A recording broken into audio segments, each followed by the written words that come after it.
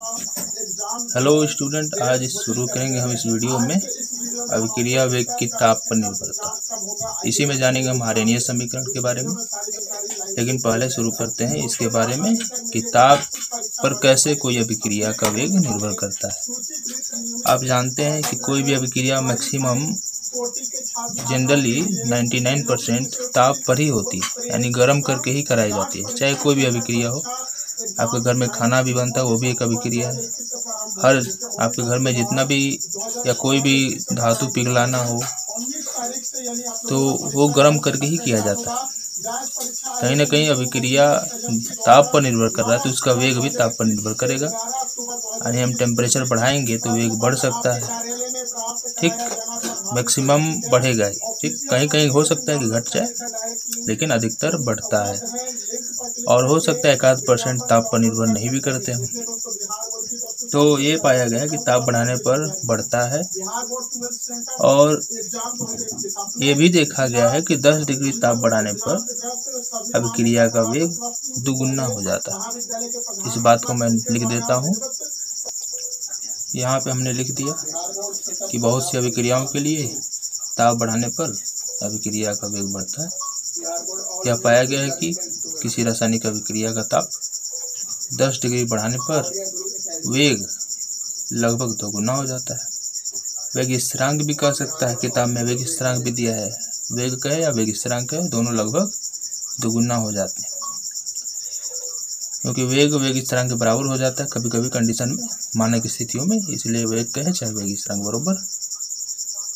तो वेग क्या हो जाता है? दोगुना हो जाता है। आप इस बात पे फोकस कीजिए। अब यहाँ पे आर्यनियस ने इसके लिए एक संबंध दिया। तो पहले हेडिंग लगाते हैं आर्यनियस समीकरण। तो अब जानेंगे हम लोग आर्यनियस समीकरण के बारे में। आर्यनियस वैज्ञानिक है, इसलिए इन्हीं के नाम पे रखा गया है समीकरण का नाम। तो आर्यनियस ने किया क्या? या विक्रिया का वेग, या वेग स्थिरांक के और उसका ताप टी? इसके बीच एक संबंध बनाया। इस तरह तो हम जो अभी ऊपर जाने, इसमें तो केवल इसी तरह हम जाने कि दस गुना बढ़, दो गुना बढ़ जाता है, लेकिन वास्तव में कितना बढ़ता है? या कैसे अभिक्रिया का वेग ताप पर निर्भर करता है? इसको दिखाने के लिए आर्यनियस ने एक समीकरण दिया। तो समीकरण देख लेते हैं। फिर उसका बाद में उत्पत्ति भी देखेंगे, कैसे वो उत्पन्न हुआ है। तो इसी बात को लिखते हैं। ये हो गया परिभाषा, और यहाँ पे है ये व्यंजक, ये माइनस नहीं है, कुछ भी नहीं है ये। केवल के है। और यहाँ पे मात्रात्मक संबंध का मतलब होता है, जितना मात्रा में टी लीजिएगा टी का मतलब जितना मान लीजिएगा, उतना आपको के का मान मिलता चला जाएगा। तो मात्रा के आधार पर उन्होंने संबंध निकाला। ठीक के बराबर ए इंटू ई पे पावर माइनस ए बटा आर टी के क्या है? वेग स्थिरांक, जो कि आप जानते हैं वेग स्थिरांक के बारे में। ए क्या है? आवृत्ति गुणक मतलब संगठन संख्या संगठ संख्या, यानी कितनी बार अणु आपस में संगठ कर रहे हैं, उनकी संख्या पता रहेगी, रख देंगे। ये क्या है? सक्रिय ऊर्जा। थोड़ा सा मैं इसको बता देता हूँ कि ये ऐसी ऊर्जा है जो अभिक्रिया में भाग लेने वाले अभिकारक को सक्रिय कर देगा। इसके बारे में डिटेल में आगे देखेंगे इसी वीडियो में। फिर आर क्या है? गैस नियतांक, जिसका मान इतना ले सकते हैं आप, आठ दशमलव तीन एक चार, joule kelvin inverse, mole inverse. ये सक्रियण ऊर्जा भी जूल पर मोल में रहेगा। और टी टेम्परेचर है तापमान, इसको केल्विन में ले सकते हैं। डिग्री में भी दिया हो सकता है, लेकिन ज़्यादातर केल्विन में ही यूज़ करते हैं। ठीक, ये हो गया। अब हम लोग इसका उत्पत्ति देखेंगे कि ये आया कैसे है। ठीक तो हेडिंग लगाते हैं उत्पत्ति या व्युत्पत्ति। तो हमने हेडिंग लगा दिया आर्यनियस समीकरण की व्युत्पत्ति डेरिवेशन अब इसका कैसे किया जाता है व्युत्पत्ति? किताबों में नहीं दिया है, और जल्दी मिलता भी नहीं इसका व्युत्पत्ति, लेकिन मैं बता देता हूँ। परीक्षा में जब कहे, तभी आप इसको हल कीजिएगा। नहीं कहे तो इसको मत कीजिएगा। आप परिभाषा लिख के आगे बढ़ जाइएगा। तो क्या होता है आर्यनियस समीकरण की उत्पत्ति कैसे होती है? हाँ। तो इसका उत्पत्ति वन ठॉप समीकरण से होता है। वन ठॉप समीकरण कौन सा? दो अध्याय वाला नहीं। अध्याय दो वाला नहीं। यहाँ पे कुछ अलग है, मैं उसको लिख देता हूँ। ये रहा वन टॉप समीकरण। ये लॉग डी लॉग ई के बटा डी टी बराबर डेल्टा ई बटे आर टी स्क्वायर तो ये समीकरण कहाँ देखने को मिलेगा? आगे की क्लासों में। बारह के बाद बीएससी में देखने को मिलेगा आपको। अभी आप डायरेक्ट हमको आर एन समीकरण से लेना देना हम इसे से हम आर एन समीकरण निकालेंगे। अब देखिए लॉग का बात ही खत्म होता है? के क्या है? तो के बता देता हूँ मैं। ये है वेग स्थिरांक। आर में जो रहता है ना, वेग में, आर बराबर के, वही के है। टी क्या है? समय है। डेल्टा ई क्या है? ऊर्जा है। लेकिन यहाँ पे डेल्टा ई सक्रिय ऊर्जा में बदल जाता है, यानी ई है। अभी हमने जो आर समीकरण देखा, उसमें क्या था? के बराबर ई, ना ए, ई पे पावर माइनस ई ए बटा आर टी था। ई ए, ये वही, डेल्टा ई ही, ई ए बन जाएगा सक्रिय ऊर्जा। अब क्या करेंगे? इसका समाकलन करेंगे, समीकरण का टी को इधर भेजेंगे और दोनों तरफ़ इसका समाकलन करेंगे। तो डी टी यहाँ पर है, इसको इधर भेज देते हैं। तो यहाँ पे हमने डी टी को इधर भेज दिया। अब दोनों तरफ़ हम समाकलन करेंगे। एक बात याद रहे, ये जो आप टी देख रहे हैं, वो टाइम नहीं है, तापमान है। क्योंकि आर्यनीय समीकरण तापमान से ही संबंध बताने के लिए समीकरण दिया गया है। तो ये टी टेम्परेचर है, तापमान। ठीक मिस्टेक हो जाता है। अब यहाँ पे दोनों तरफ़ समाकलन करने पर क्या होगा? वो ऐसा डिज़ाइन लेंगे ना, समाकलन का चिन्ह लेंगे। तो देखिए, यहाँ पे जो टी स्क्वायर है, तापमान में ही परिवर्तन हो रहा है। ये सब नियतांक है ना, सक्रिय ऊर्जा आर ये सब नियतांक है, ये गैस नियतांक है आर तो ये चेंज नहीं होता है। तो जो चेंज नहीं होता है, वो समाकलन चिन्ह के बाहर हो जाता है। जो चेंज होता है, वही समाकलन चिन्ह के अंदर रहता है। तो मैं डायरेक्ट कर देता हूँ। ये भी डी के साथ ये जुड़ा है तो इसी में चेंज होगा। दोनों तरफ़ लिख देते हैं, समाकलन करने पर। यहाँ पे हमने लिख दिया, दोनों तरफ़ समाकलन करने पर। ये रहा समाकलन का चिन्ह, इसको हमने बाहर निकाल दिया। टी को मैंने ऊपर कर लिया टी माइ टी का माइनस पावर दो हो गया। अब इसको हल कैसे करते हैं, यहाँ पे मैं आपको बताता हूँ। तो डी एक्स का समाकलन क्या होता है? एक्स होता है। डी के साथ जो भी जुड़ा रहता है, वही आ जाता है। तो ये समाकलन होता है डी एक्स का समाकलन। और फिर एक्स पे पावर एन डी एक्स का समाकलन क्या होता है? तो एक्स पे पावर एन प्लस वन बटा एन प्लस वन हो जाता है। इस बात को याद रखिएगा। साइड से मैंने बता दिया। अब वही वाला फॉर्मूला लगाएँगे। यहाँ पे डी एक्स है। यानी एक्स का काम ये कर रहा है तो ये आ जाएगा। यानी कि लॉग ई के आ गया। बराबर। यहाँ पे टी पे पावर माइन माइनस दो है, यानी एक्स का घा एक्स का काम टी कर रहा है और पावर एन है माइनस दो। क्या हो जाएगा? हल करते हैं डायरेक्ट इसको लिख देंगे पहले डेल्टा ई बटे आर टी पे पावर माइनस दो प्लस वन बटे माइनस दो प्लस वन। हो जाएगा ना? और एक बात और ध्यान दीजिएगा कि साथ ही साथ जब भी समाकलन होता है तो एक नियतांक भी लिया जाता है, ठीक?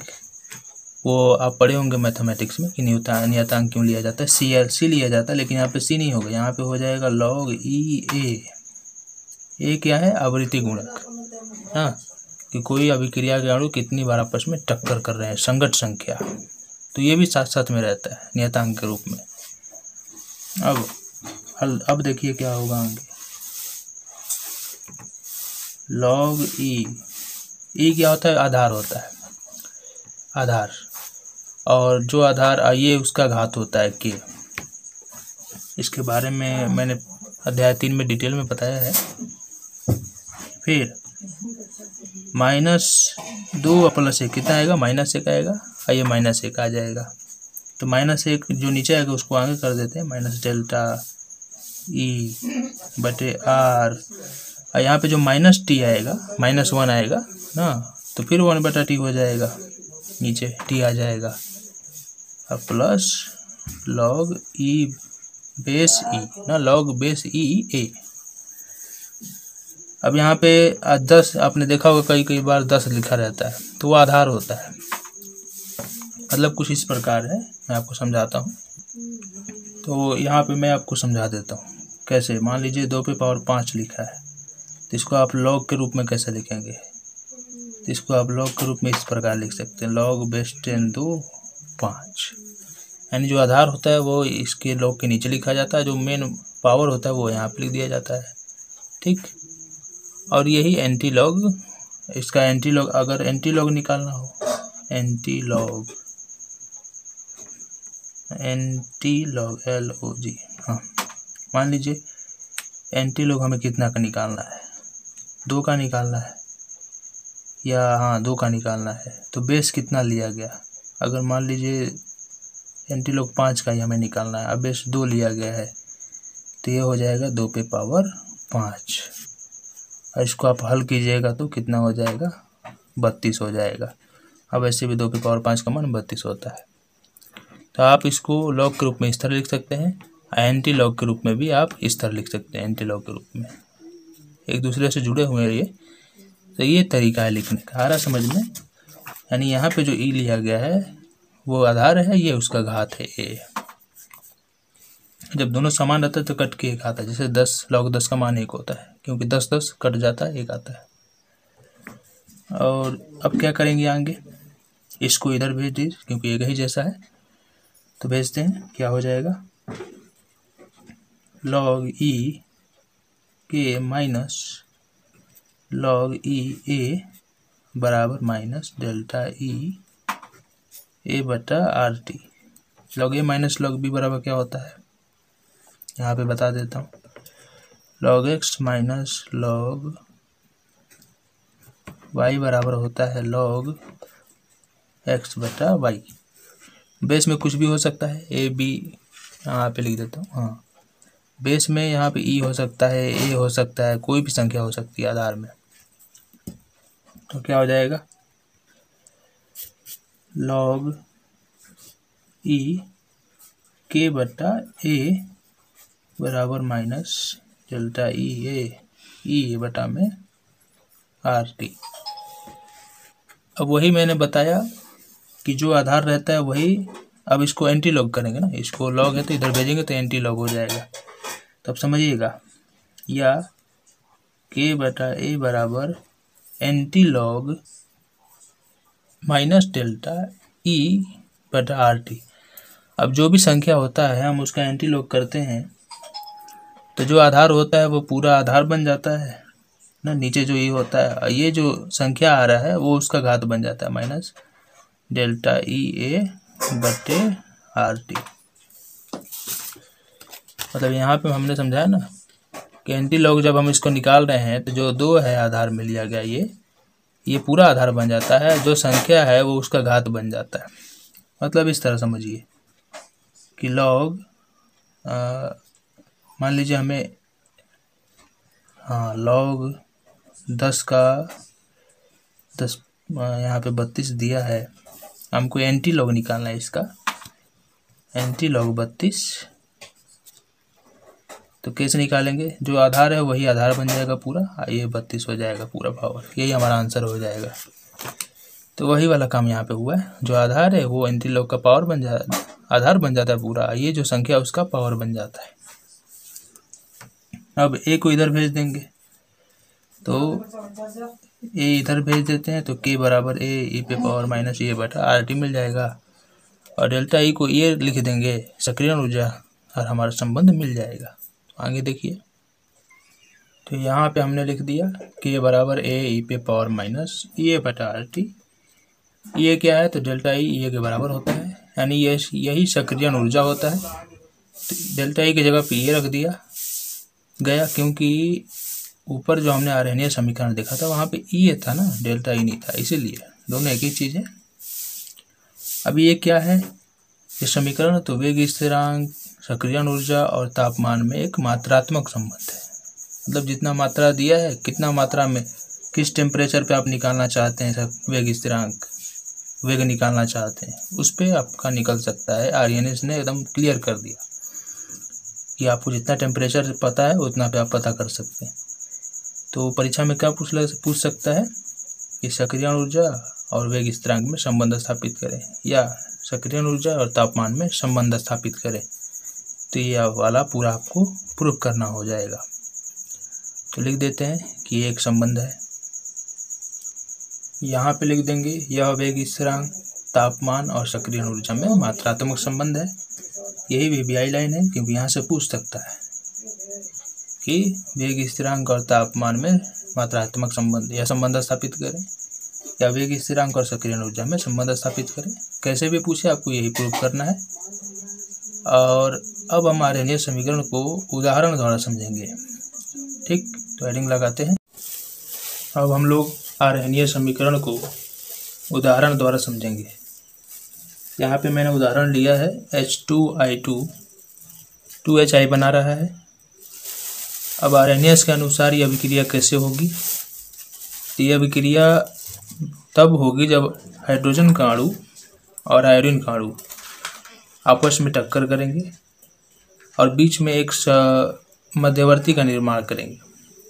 यानी कि एच टू का अणु टूटेगा एच एच और आई टू का टूटेगा आई आई और वो आपस में एक बीच में मध्यवर्ती बनाएँगे, तब जाके एच आई एच आई आपस में जुड़ेगा और तब जाके टू एच आई बन जाएगा। ये पूरा नियम है। इसको मैं लिख देता हूँ। यहाँ पे लिखा हमने कि आर्हेनियस के अनुसार यह अभिक्रिया तभी हो सकती है जब हाइड्रोजन का एक अणु आयोडीन के एक अणु के साथ संगठ कर अस्थायी मध्यवर्ती का विरचन करे। यानी जो बीच में बनेगा मध्यवर्ती, वो अस्थायी होगा। अस्थायी का मतलब वो हमेशा के लिए नहीं है। बस थोड़े समय के लिए बना है, फिर ख़त्म हो जाएगा। और यह मध्यवर्ती बहुत कम समय तक रहता है। मतलब वही, अस्थायी मतलब बहुत कम समय तक।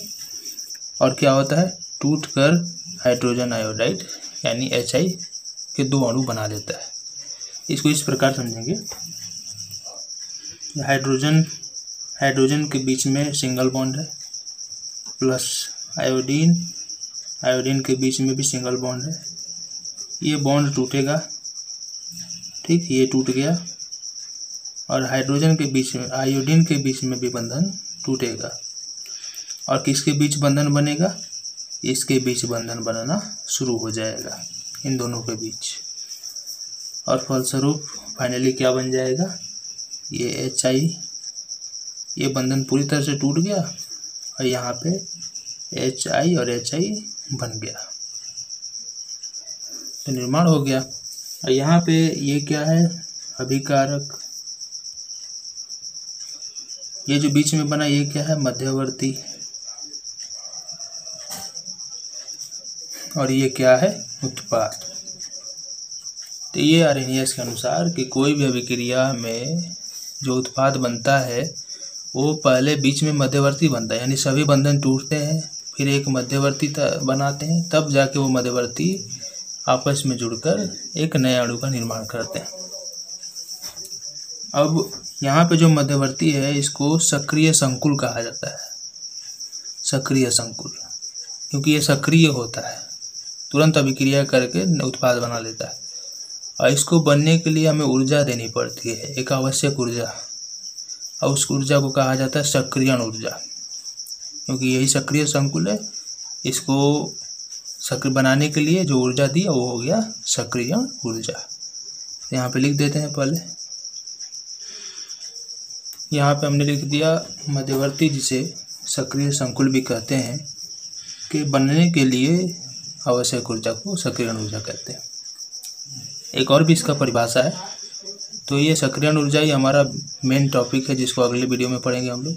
सक्रिय ऊर्जा क्या है, इसका दूसरा परिभाषा, फिर ग्राफ फिर व्यंजक निकालेंगे इसका, आर्यनीय समीकरण से, और नोमेरिकल्स भी देखेंगे इस पर लेकिन इस वीडियो में इतना ही है आर के बारे में केवल। क्योंकि आर का समीकरण क्या है, उसका उत्पत्ति कैसा होता है, ये सब बता दिया हमने। मेन जो चीज़ है हमारा वो है सक्रिय ऊर्जा। उसके बारे में अगले वीडियो में जानेंगे। तो इतना ही रहने देते हैं। इसके, इस पर कोई न्यूमेरिकल नहीं है। ये आर एन एस इक्वेशन पे और सक्रिय ऊर्जा पे सारा न्यूमेरिकल है। तो इसलिए अगले वीडियो में। तो मिलते हैं अगले वीडियो में। धन्यवाद।